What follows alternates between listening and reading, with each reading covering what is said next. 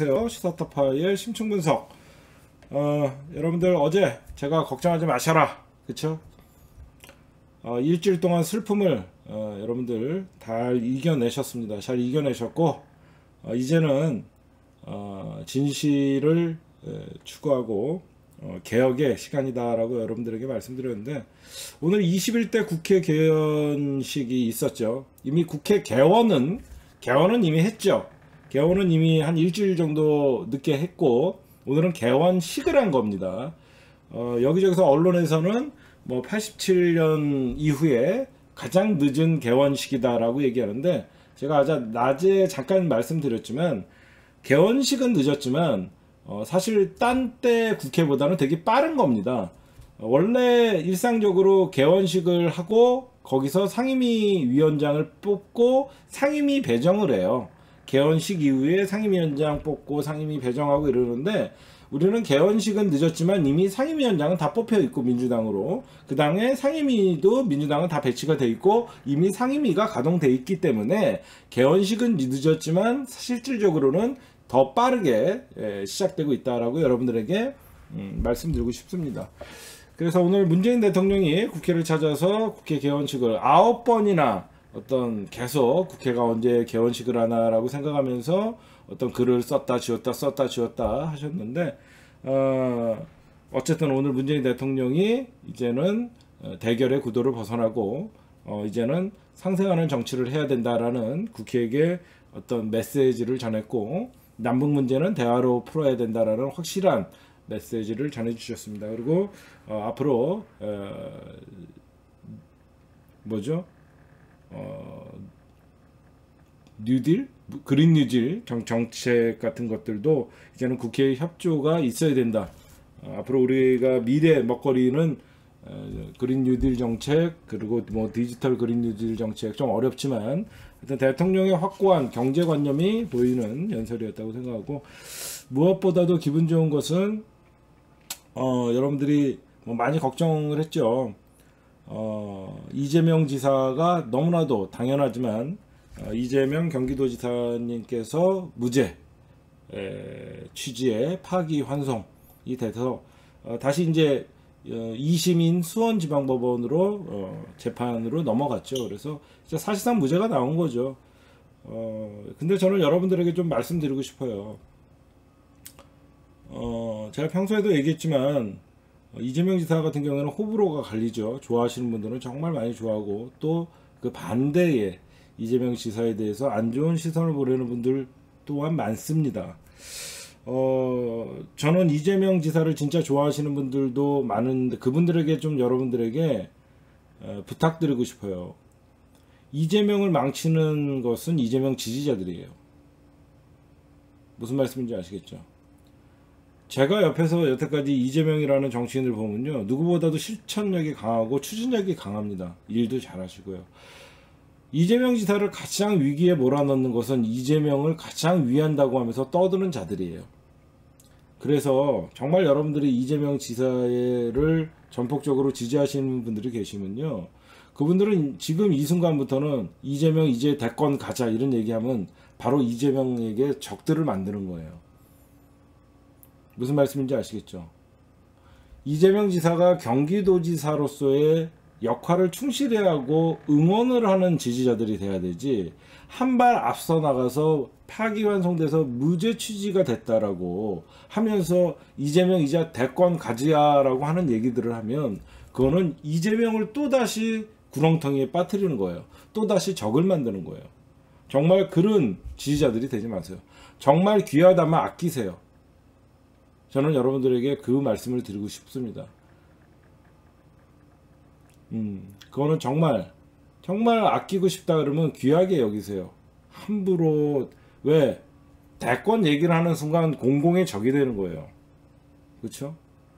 대권은 후보가 올라가는 순간 모두의 표적이 되는 거예요. 그건 민주당 안에서도 표적이 되는 거고 조중동의 표적이 되는 것이고 또 어, 대한민국 수구 세력들에게 표적이 되는 거예요.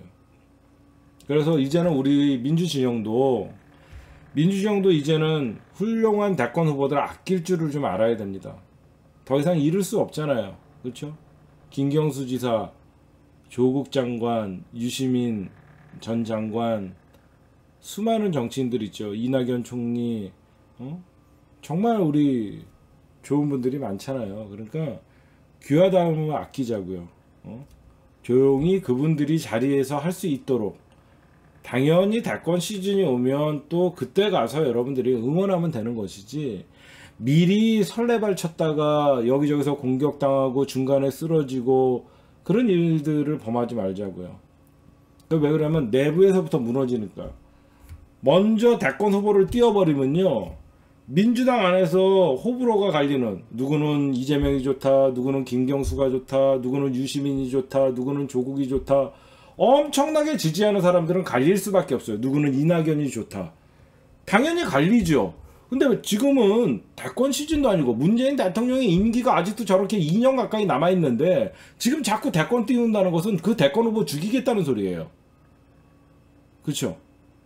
문재인 대통령이 저렇게 아직도 임기가 2년 가까이도 남았는데 벌써부터 대권 후보를 띄운다는 것은 문재인 대통령 힘을 빼놓는 거예요. 미래 권력에게 줄 서라고 하는 메신저 뱉기 되지 않기 때문에 그렇게 하면 안 됩니다. 알겠죠? 각자 처해 있는 상황에서 우리는 지금은 모두가 문재인 대통령이 레임덕 없는 대통령으로 임기를 마칠 수 있도록 끝까지 최선을 다해서 진짜 민주당은 하나다. 그리고 민주당의 지지자들도 하나다. 라고 우리가 전진해야 돼요. 그쵸? 저는 정말 그 말씀을 꼭 드리고 싶어요. 이 와중에 좌파 독재 타도 나는 매 눈이라서 이런 게 다 보인단다. 어, 짐 싸자. 어, 난 나경원 어, 나국상 그래. 나경원은 에, 검찰 조사 좀 받아야지. 그러니까 여러분들에게 정말 꼭 그 이 말씀을 좀 드리고 싶었어요. 알겠죠? 지금 차기를 논하면 그 자기가 좋아하는 후보를 죽이는 거예요. 모두가 문재인 대통령의 성공한 대통령으로 남길 수 있도록 최선을 다해서 응원하고 경기도지사는 경기도지사의 임무를 최선을 다하고 그렇죠. 이낙연 총리는 민주당의 당 대표 후보로서 당권을 주게 되면 민주당이 그 어떤 어, 한 번도 대한민국 헌정 역사상 이런 180석을 갖고 있는 이런 강한 민주당이 적 없었죠. 그 민주당의 당 대표로서 국회를 잘 이끌어가고 개혁을 잘 실천할 수 있도록 강한 리더십을 보여주고 그러면 자기가 대통령이 아무리 된다고 저는 대통령은 하늘이 내려주신다고 생각해요. 아무리 발버둥 치고 자기가 대통령이 된다 그래 되려고 노력한다 그래갖고 대통령이 된다고 생각하지 않습니다. 국민이 불러내면 그 사람이 대통령이 된, 되는 거예요. 문재인 대통령이 정치하기 싫다 그래도 국민이 불러내면 대통령을 할 수밖에 없는 겁니다. 그러니까 여러분들 아시겠죠? 진짜 위한다면 아끼자.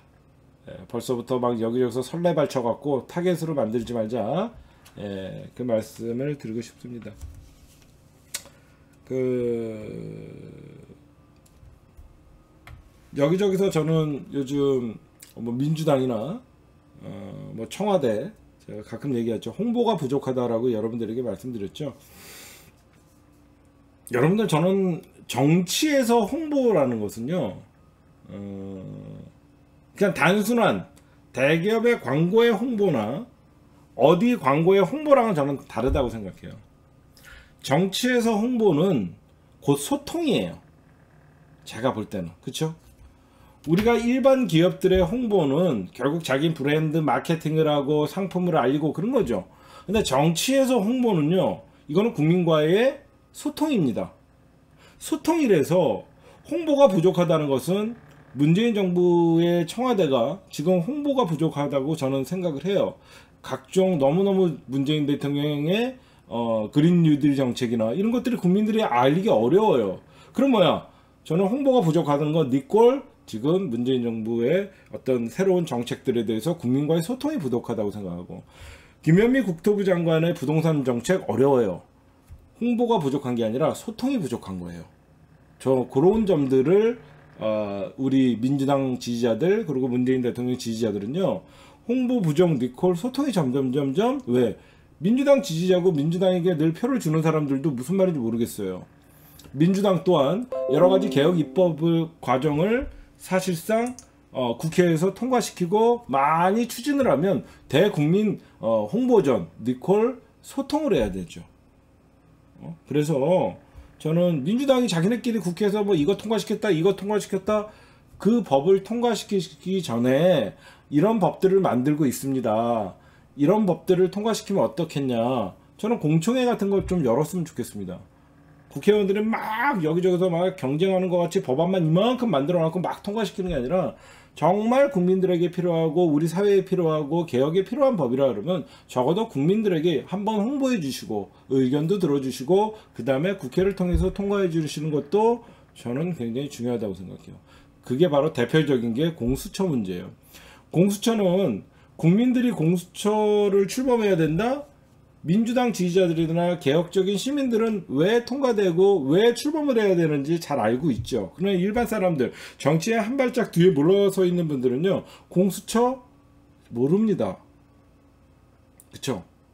왜 그러냐면, 공수처라는 법을 홍보만 잘하고 국민과의 소통만 잘한다 그러면요, 국민들 80% 이상이 찬성을 하게 됩니다. 누구보다도 지금 문재인 대통령이 권력을 잡고 있는데, 고위공직자들, 그쵸? 장차관급들, 판검사들, 경찰 고위 어, 고위급들 거기에다가 어 문제 지금 권력을 잡고 있다 보니까 고위공직자들은 대부분 대통령의 친인척들, 주변 인물들 이런 어떤 권력을 내려놓겠다는 거예요. 대통령이요. 그렇죠? 어떤 대통령이 고위공직자 비리수사처를 자기가 저렇게 통과시켜야 된다고 하는 사람이 어디 있습니까? 문재인 대통령이 그만큼 깨끗하고 당당하니까 내가 집권할 때 나가 있을 때 이 정책을 통과시켜라. 왜 이명박 때는 이거를 통과 못 시켰겠어요? 왜 박근혜 때는 공수처 못 통과시켰을 것 같아요? 지네가 찔리는 게 있으니까 주변이 썩어 있기 때문에 이런 걸 못하는 겁니다. 안 그래요? 문재인 대통령이 그만큼 철두철미하고 부정부패가 없기 때문에 나와 내 주변을 먼저 수사할 수 있는 고위공직자 비리수사처를 만드는 거다. 어? 이런 것들을 많은 분들이 알아야죠. 어? 저는 그런 것들도 필요하다고 생각합니다. 그 다음에 21대 국회 개헌은 거대한 개혁의 서망. 그죠? 여태까지 민주당이 힘이 없어서 사실상 개혁을 안 한 거 아니죠. 여기저기서 민주당 뭐하냐 180석 줬거든. 아직 국회가 여러분들 제대로 열리지를 못했어요. 드디어 오늘 개원식을 했으니까 네, 어, 이제는 뭐 인사청문회 각종 국회의원들이 입법 어, 개혁 법안들을 어, 발의를 하고 있겠죠. 어, 개혁에 민주당이 주가 돼서 국민이 공감할 수 있는 법들을 많이 통과시켜 준다 그러면 어, 정말 누가 민주당을 미워하겠어요. 여태까지 그러니까 법이 본인의 치적을 쌓기, 쌓기 위해서 내는 법들이 아니라 정말 저는 법, 국회의원의 법안들은 국민들이 무엇을 필요로 하는가 찾아다니면서 그렇죠? 정말 하나하나 메모해 가면서 아 이런 법안들은 참 어, 현실과 너무 동떨어지구나 그런 것들 마구 만들어 주셔야죠. 그러니까 21대 국회가 열린다는 것은 적폐들에게는 끔찍한 일이 되겠죠. 야, 개혁 법안 밀어붙이는 뭐야? 미래통합당은 결국은 부자 기득권들을 위한 대변을 대변하는 정당이잖아요. 결국은 개혁이라는 건 뭐예요? 기존에 있던 기득권들을 아, 한마디로 기득권을 타파하고 새로운 구도를 형성하는 법들을 만드는 거이기 때문에 미래통합당은 부자들을 대변하고 결국은 친기업, 반서민 정책을 펼쳤던 미래통합당 같은 경우에는 어, 민주당이 개혁을 밀어붙이면 굉장히 난해하겠죠. 난처하겠죠. 그렇죠? 그래서 어, 저는 민주당이 정치, 경제, 사회, 문화 골고루 개혁을 추진해야 된다. 이런 기회 다시 오지 않는다. 어디 한 곳에만 뭐 사법개혁, 언론개혁 중요하지만 대한민국 진짜 썩어 있는 정치, 경제, 사회, 문화 특히 여러분들은 오늘 발견된 게 뭐예요? 바로 사학 재벌의 개혁이 가장 시급한 거죠. 그 한 번 제대로 사학 재벌들 대학교 감사 받았습니까? 제대로 감사 한번 받지 않다가 오늘 연세대학교 한번 틀렸죠. 여기 저기서 이제 교육부에서 사립대학교 감사를 했더니 기가 막힌 일들이 발생하죠. 대학 등록금으로 법인카드로 단란주점 수백 회를 다니고 개인 쇼핑을 하고 골프장을 수백 번을 다니고 그래놓고 등록금 아이들에게는 엄청 올려 때려놓고 있고 저는 아이들 등록금요 저렇게 부정부패하게 돈 썼던 교수들에게 전부 걷어갖고 아이들한테 환급해줘야 됩니다. 사학에 얼마나 썩었는지 알 수 있는 거예요. 그렇죠? 음? 연세대 하나를 보면 여러분들 과거에 조소, 조국 장관님 아드님 기록이 사라졌다라고 얘기하면서 검찰이 그 난리를 쳤습니다. 그 연세대에서 조국 장관님 아들의 기록이 왜 없어졌을까요? 지금 생각하니까 모든 의혹이 다 풀리죠. 본인들 자식들의 성적표나 본인들 자식들의 기록 조작한 것들을 없애기 위해서 모든 증거 자료를 증거 자료를 다 폐기시킨 거예요. 그러다 보니까 거기에 조국 장관님의 아드님 기록까지도 같이 없어진 거죠. 어? 왜 그 자료만 없어졌냐고 검찰이 난리쳤죠. 검찰 뭐 합니까? 표창장 하나 위조됐다고 어? 동양대학교를 그렇게 이잡듯이 틀고 여기저기 조국 장관님과 그의 가족들을 어? 정말 이해할 수 없을 정도로 특수부 검사들이 거기서 붙었는데 지금 뭐 합니까 지금? 연세대학교 왜 압수수색 안 합니까? 어? 왜 지금 사학재벌들 연세대학교 뿐만 아니라 대한민국 어, 지금 감사받고 있는 좀 있으면 고발 되겠죠. 음? 말이 안 되죠 이런 것들 그렇죠? 어, 하여튼 어, 어제까지만 해도 여러분들이 굉장히 우울하셨는데 오늘 여기저기서 좋은 일들이 있었죠. 이재명 지사 같은 경우에는 저는 개인적으로 TV 토론에서 한 발언 때문에 재판을 받는다는 자체가 웃기죠. 어. 저런 TV 토론에서 말한 발언 때문에 재판을 받는다? 그 자체가 너무 부끄럽고 웃깁니다. 그러면 TV 토론 뭐하러 합니까? 응? 여러분들이 어제와 다른 그러니까 정치라는 게 그런 거예요. 여러분들에게 좀 말씀드리고 싶은 것은 때로는 슬프고 때로는 기쁘고 오늘은 기뻤지만 또 내일 안 좋은 일이 생기는 게 정치입니다. 우리가 365일 늘 좋을 수는 없어요. 그럴 때마다 이겨낼 줄 아는 굉장히 여러분들은 단련된 국민들이에요. 2012년부터 문재인 대통령 지키기 얼마나 힘들었습니까? 5년 동안 문재인 대통령 좌절할까봐 중간에 문재인 대통령이 포기할까봐 여러분들이 지치지 않고 문재인 대통령 앞에서 모든 비바람을 맞아주면서 같이 문재인과 같이 사실상 정권을 만들어낸 게 여러분들이에요. 그렇죠? 하루하루가 매일 즐거웠으면 좋겠죠. 그러나 오늘은 또 무슨 안 좋은 악재가 생길 수도 있는 거고 또 내일은 좋은 일이 생길 수도 있는 거고 그럴 때마다 여러분들이 기분이 롤러코스터 같이 계속 좋았다 나빴다 한다 그러면 여러분들 정신건강이나 오랫동안 싸우지 못합니다 그렇죠?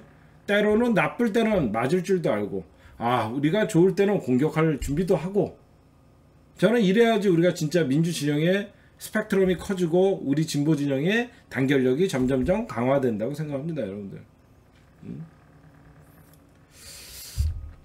아, 그 다음, 어, 제가 또 말씀드리고 싶은 게, 어, 의료계와 이 검은 예, 커넥션, 검찰 예우.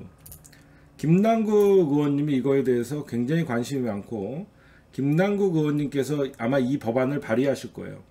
여러분들, 의료계가 얼마나 불가침 영역이냐면요. 검찰만큼 의료계도 여러분들 감히 침범할 수 없는 영역이에요. 그렇죠? 여러분들 보이지 않는 의료 사고가 얼마나 많은지 아십니까? 근데 왜 언론에는 의료 사고 같은 거 나와 거의 뉴스에 나오지 않죠. 1년에 어떻게 하다가 한 건씩 나오죠. 의료계와 검은 커넥션 왜 검찰에 정관냐요? 의료계 사건이 왜 뉴스화되지 않냐?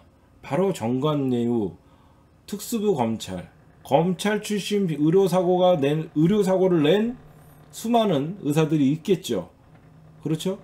그런 의사들이 정관예우 검찰을 써서 결국은 힘없는 의사와 환자가 싸우면 정말 불공평한 싸움이죠.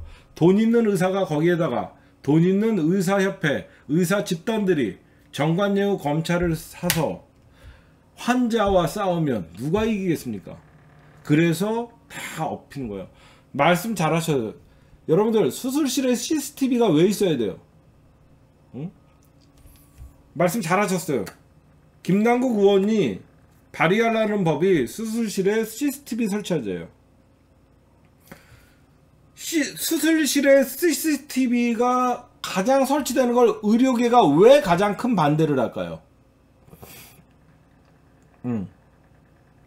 수술실에 CCTV 설치를 왜 의료인들은 반대할까요? 음? 맞아요. 대리 수술이에요. 대리 수술이에요. 의외로 수술실에서 집도를 의사가 하지 안 하는 경우가 되게 많대요. 어, 특히 성형외과. 의사 면허가 없는 사람들이 의사를 하는 경우, 수술을 하는 경우가 너무 많다 보니까 결국은 시, 수술실에 CCTV가 설치되면 모든 것들이 발각되는 거잖아요. 어? 그러, 그러다 보가 의료 사고가 발생하면 의사가 수술한 척. 그러기 때문에 결국은 수술실에 CCTV 설치를 막고 있는 거죠. 반드시 이거는요, 저는 의료계에서 이건 막을 일이 아니라고 생각해요. 수술실의 CCTV는요, 인권의 문제예요. 그렇죠? 수술실의 CCTV는 환자의 인권 보호의 문제입니다. 과거 수술실에 마취를 해놓고 의사들이 음담 패설을 하고, 그쵸? 성추행을 하고, 저는 정말 수, 수술실의 CCTV는 환자 인권의 문제다라고 여러분들에게 꼭 말씀드리고 싶어요. 그래서 나중에 이 법안은 꼭 통과되고, 그래서 우리 국민들이 보다 안정적인 의료 서비스를 받을 수 있도록 해야 된다는 게 제 기본적인 생각입니다. 그리고 반드시 의료 사고가 났을 경우에 검찰들이 덮었던 여러분들 이거는 검의 유착입니다. 다시 전수조사를 해서 의료사고 났을 때 검찰이 정관 예우를 덮었던 이거는 검찰의 검은 커넥션이에요. 그쵸?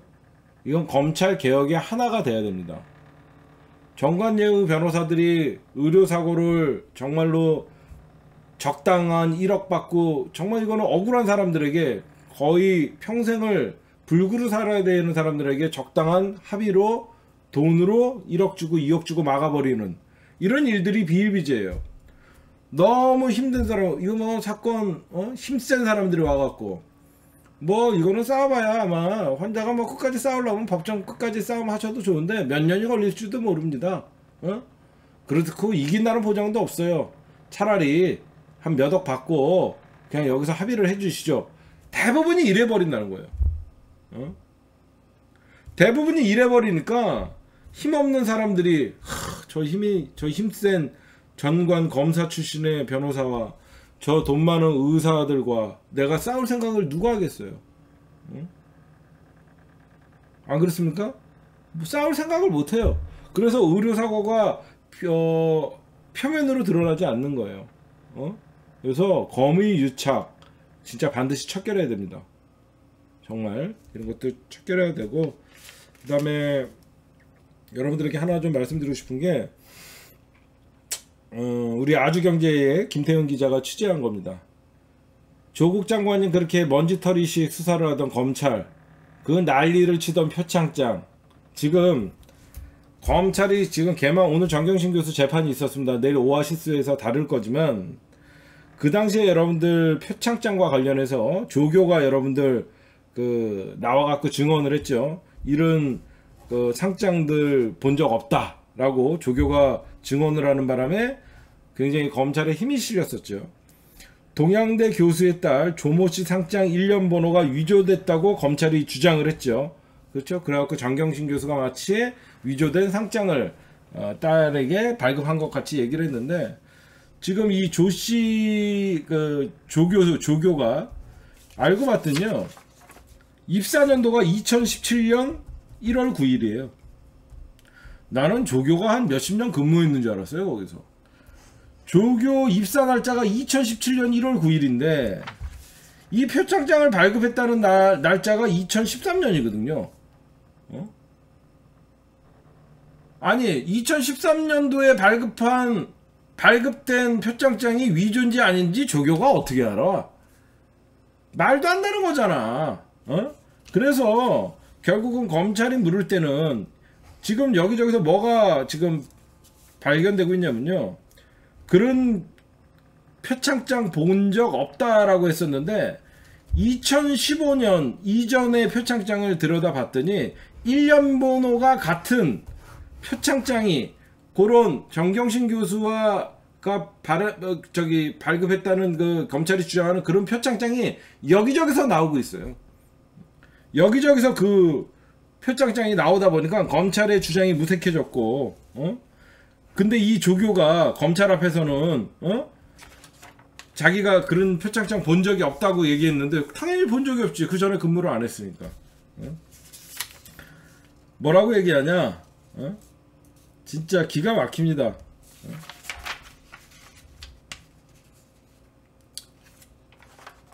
자기가 그 전에 근무를 안 해서 모른다고 이제 말을 바꾸고 있고, 어? 하여튼 이런 사건들이 벌어지고 있어서 어, 내일 여러분들 어, 정치 오아시스에서 정치 오아시스에서 에, 검찰의 무너지는 논리, 검찰의 무색해지는 표창장 어, 위조, 어, 1년 번호가 위조됐다는 얘기들은 전부 어, 진짜 이런 개그 개그도 없습니다, 여러분들. 예? 내일 정치 오아시스에서 깊이 한 걸음 더 들어가서 다루도록 하겠습니다. 검찰의 논리가 점점 빈약해지니까 애들이 지금 도망가잖아요. 음. 하여튼 뭐 여기저기서 이제 진실이 드러나고 있어요. 제가 이제는 진실의 시간이라 그랬잖아요. 여기저기서 안 좋은 진실도 드러날 테고 좋은 진실도 드러나겠죠. 정경심 교수뿐만 아니라 조국 장관의 명예회복도 반드시 돼야 됩니다. 우리 사회는 너무 한쪽에 어떤 인권만 중요시하는데 저는 반드시 조국 장관과 그의 가족들을 언론과 검찰에 짜고 어, 도륙시켰죠 거의. 저는 이렇게 당하는 가족을 처음 봤습니다. 정말 지금도 다시 한번 말씀드리지만 잘 버텨주셔서 감사드립니다 어, 저는 문재인 대통령을 원망하는 사람들이 가끔 있더라고요. 우리가 정권을 잡았는데 왜 이렇게 당해야 되나요? 우리가 당하는 것이 아니라요. 그만큼 문재인 대통령이 털어서 먼지 하나 한마디로 제, 쟤네들한테 빌미를 주지 않으면서 개혁을 추진하고 있다는 증거입니다. 문재인 대통령이 개혁을 추진하거나 정말 올바른 정의를 추구하지 않는다 그러면 쟤네들은 저항하지 않아요. 문재인 대통령에게 월권을 강요하지 마십시오. 대통령이 할 수 있는 게 지금 문재인 대통령의 모습이 딱 만든 거예요. 과거 이명박근혜랑 비교하는 거는요. 그들은 헌법 위에서 대통령의 권한을 썼기 때문에 지금 감옥에 있는 거예요. 문재인 대통령은 정말 국민들에게 크나큰 교훈을 주는 거예요. 대통령도 못하는 부분이 많다. 대통령도 내가 가장 아꼈던 제2인자라고 불렸던 조국 민정수석의 부인이 구속되는 것도 대통령이 막을 수 없는 것이다. 저는 이 어떻게 보면 이 위대한 가르침이 차차기 차기 그 다음에 대한민국에 어떤 지도자가 들어와도 대통령은 무소부위의 권력을 갖는 것이 아니라 대통령도 못하는 것이 있다라는 것을 대한민국 민주주의에서 보여주고 있는 것이다. 저는 정말 그렇게 생각해요. 대통령이 답답한 게 아니라 원래 대통령은 상권 분립에 의해서 행정부의 수반이지 검찰을 갖고 논다든가 사법부를 농락한다든가 그거는 이명박근혜 때 상권 분립을 분리를 당연히 어기면서 자기네들의 행정부 권력, 대통령이라는 위치를 통해서 검찰을 장악하고 사법부를 장악하는 그런 잘못된 대통령의 리더십을 보여줬기 때문에 그들은 감옥에 가 있는 것이다. 어?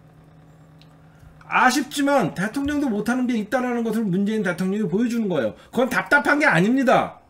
문재인 대통령이 답답한 게 아니라 그런 잘못된 대통령을 보면서 우리가 관념적으로 습관적으로 대통령은 다 할 수 있다라는 착각과 오만을 갖고 있는 지지자들이 있기 때문이에요. 문재인 대통령이 답답한 게 아니에요.